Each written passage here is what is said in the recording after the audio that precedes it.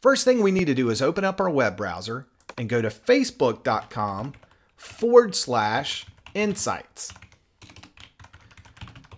Now it's going to ask you if you're not logged in yet to log in. And what you need to do is actually log in with the account that is either attached to the Facebook fan page that you want to have connected to your website or to your personal profile. Now, once you've gone to facebook.com forward slash insights and you've actually logged in, you're going to come to a page that looks like this. Now, right now, the page is still loading. So we're going to wait just a moment here. Here we go.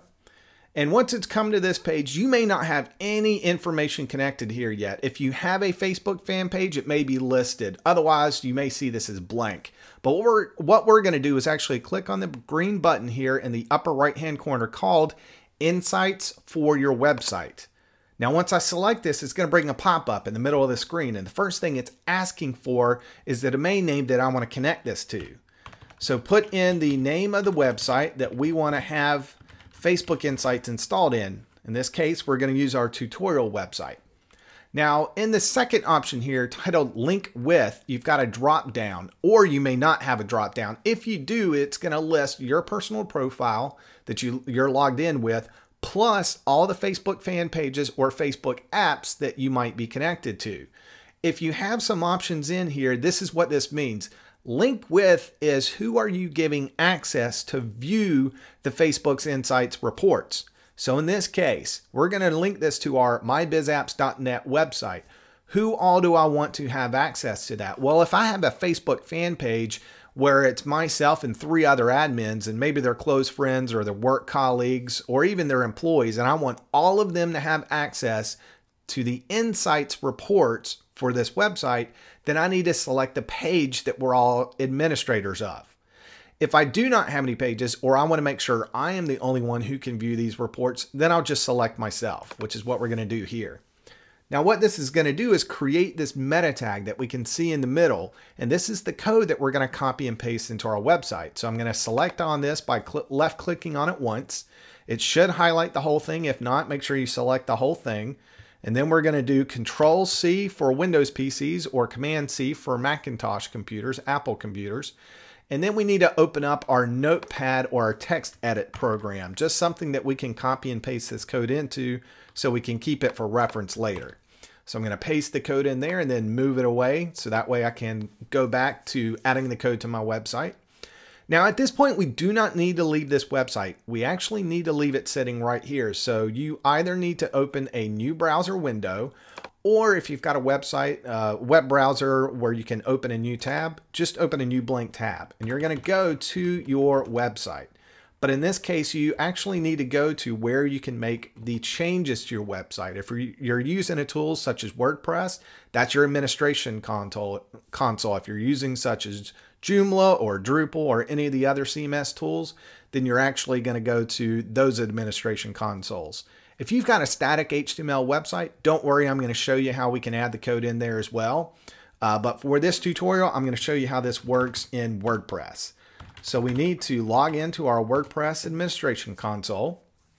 Once we come to the dashboard, what we're looking for is this option called Appearance on the left-hand side of the screen and most importantly, the sub option called Editor. Now, real quick, if you cannot see the appearance menu option or the editor option, you need to reach out to the person who built your website, either the individual, your friend, uh, a web firm, or even your hosting provider, because what this means is you do not have administrative level access to actually make changes to your theme files, which is where we need to paste this code.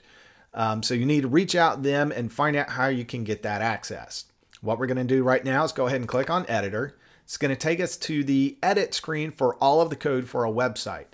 In the upper right hand corner, the select theme to edit, we want to make sure we are selecting the theme that we're currently using for our website. You may only have one option, you may have three or four options, but make sure you're using the one for your website. If you're not sure which one that is, you can either reach out to the person who built your website and make sure that uh, you know what option you're using, or a quick way, if you do have the appearance menu, is click on the themes options. And the very first one is going to tell you what you're currently using. So current theme 2011, that's the one my website's using. So I'm going to go back to the editor, make sure 2011 is selected, which it is. Now the file that we need to paste this code into is called the header file, file name header.php. So I'm going to select that file, which loads it up here in the middle. And then what I need to do is to paste this code in the appropriate place. So what I'm looking for is anything before the closing head tag. Well, here's the opening head tag.